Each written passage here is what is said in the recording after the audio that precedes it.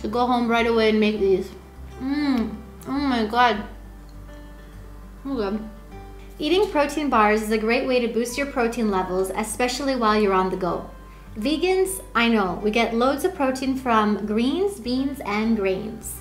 But there's no reason why we can't get a little bit of extra protein from these delicious Snickers protein bars. These Snickers protein bars are great for post workout snacks. They're loaded with delicious natural medjool dates for carbohydrates, peanut butter, and pea protein. Each bar has 20 grams of protein.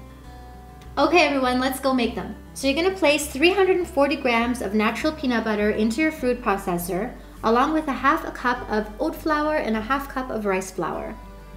You're also gonna put in 15 tablespoons of your protein. Also add seven tablespoons of water and seven tablespoons of maple syrup and mix until you get a dough ball. Take the dough out of the food processor and place it onto parchment paper where you will then shape the dough into a rectangle. And into the freezer it goes for about an hour. And now for the second layer, we're gonna be making nature's caramel. For the caramel sauce, you're gonna need one cup of pitted medjool dates, two tablespoons of maple syrup, and one tablespoon of water. You're gonna place those in the food processor and you're going to process them until you get a nice creamy consistency. After an hour, you're going to remove the first layer out of the freezer. We're going to carefully spread the caramel goodness all over the first layer. And finally, we're gonna take a half cup of peanuts and sprinkle them all over the caramel and we're gonna set that aside. And now let's go melt the chocolate.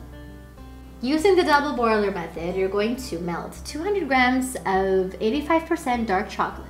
Once it melts, you're going to spoon the chocolate all over the bars, covering the top, bottom, and sides. If you're watching your fat intake and you don't want to cover the whole bar with chocolate, that's totally okay.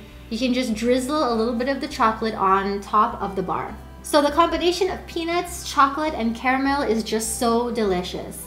And each bar contains 20 grams of protein. Okay everybody, if you like this video, please hit the like button and subscribe to our channel.